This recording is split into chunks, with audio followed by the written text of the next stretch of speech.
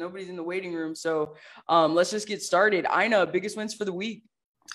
Let's see, I've been continuing to get one to two referrals and converting almost all of them every week.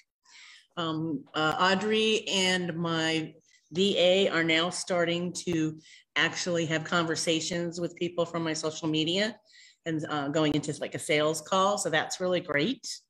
Um, I've started writing my coaching program